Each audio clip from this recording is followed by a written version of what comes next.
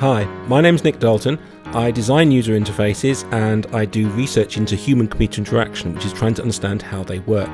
Now, clearly, uh, this project was all about trying to understand what was going on inside the machine. And let's just look at the history for a second. We started off just with command line interpreters. Now these allowed us a nice textual description of what's going on, but they were very much, you had to tell them to do what you wanted them to do. They were very command driven. But the problem was, they didn't give you a strong feeling, a strong intuition what was happening in your machine. Later on, the uh, Finder came along in the like, 80s with the early Macintosh, and this was a huge improvement because it allowed you to directly manipulate files and folders and move things around, which is actually kind of a, a massive improvement. But you've got to realize this kind of iconic user interface was created in days when having a 800k floppy disk drive was actually quite significant. Later on, this um, uh, column interface was introduced with the NeXT machine, and it, this was actually a major sort of step forward because it was really designed for the kind of 100 megabyte um, hard drives they had in that period. And it did quite a good job of allowing you to kind of manipulate and move through the sort of folder hierarchy quite rapidly. But again, it doesn't give you a strong intuition about what's actually happening. So uh, I created this uh, prototype. Uh, I call this Future Finder, and it's really just a kind of sketch, a way of allowing me to explore what's going on and try and come up with some new ideas. You've got to realize that today we have multi gigabyte hard drives, much bigger than the uh, ones that these were designed for. But we also have really fast graphics. We have GPU renderers on practically every machine. We also have much larger monitors and new styles of touch interaction, touch uh, interfaces on uh, on various machines. And I wanted to kind of explore these and find an interesting kind of way of resolving these. One of my also hobbies is also um, uh, large scale visualization. So I wanted to apply lots of visualization kind of approaches to the, to the idea of just looking at your, um, your humble hard drive. So here we can see one already. Um, the icons in this system are actually designed to be relative to the size of the document they are actually representing. So here we have the uh, traditional kind of document, draggable document for direct manipulation, but you can see it's much bigger than this one. So it gives you an immediate sense that this is a much larger document than that one. If we just zoom in here, we can actually see up here that it actually tells you how big. This is a 19 megabyte document. If we zoom into this one, you see this is only 14 kilobyte. Now you've seen something else here, which is basically I'm using the notion of zooming. This is very much a zooming user interface. I'm notion, using the notion of zooming to actually represent more information about the object. So the idea here is to use zooming as a unified way of interacting with the uh, information. Now, the, uh, the other thing you've probably noticed is the color of the documents. Now, the color of the documents actually represents the age of the documents. So, red represents new documents, documents modified today, going through the color spectrum of orange for this week, keep on going back through months, years. Over here, we can see um, uh, documents that are blue representing kind of uh, more than a year old and then dark blue for more than two years old and then finally purple is all documents older than three years.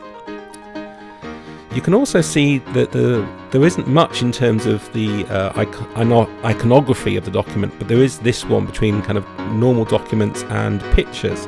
I haven't had a chance to integrate this hugely, but here's another example of using a zooming user interface. If we keep on zooming into it, you'll see that the actual image appears uh, on the document. And again, you can keep zooming in and zooming out on that document. If we zoom out a bit, going back to the age, you notice that obviously all these icons are actually now held inside this Finder folder. And the color dot here just says what's the most recent doc document modified in this folder and then that's passed up to its parent and so on. So Again, if you're zoomed out, you can actually see what's going on. Now this kind of zooming user interface is actually quite familiar if you've ever used anything like Google, uh, Google Maps.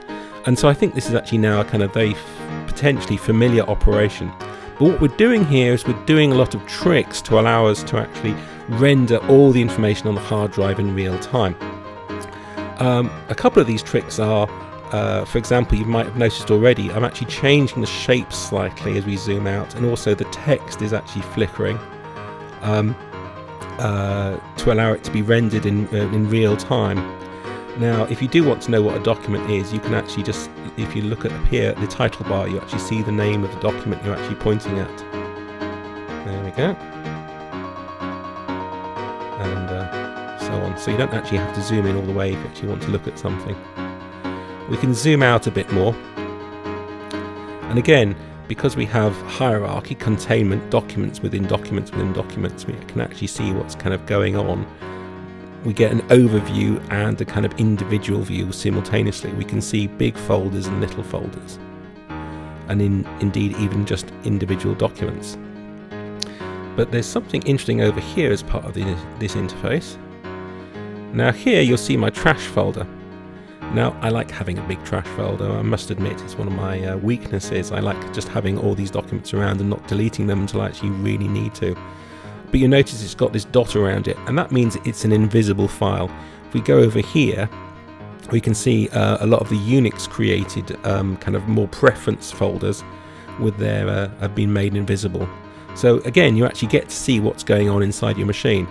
And uh, we can just notice over here that we've actually got a um, a red document and this is the Dropbox folder has actually just modified that which again is is kind of a, an interesting kind of observation to make. Now we're zooming out and we can see we have the photo libraries and uh, documents but if we keep on going we've uh, discovered that in fact the web page preview folder in the library folder is actually one of the largest folders on my hard drive now, I, I wasn't expecting this as actually quite an interesting kind of discovery, and I did quite like the idea of uh, the quote that says a, a, discovery is an accident meeting a prepared mind. And I quite like the idea of creating software which kind of creates accidents in kind of interesting and provocative ways. Um, overall, you can actually see what's going on inside the machine, and you can see that you can quite smoothly and quickly zoom in and zoom out to what's going on.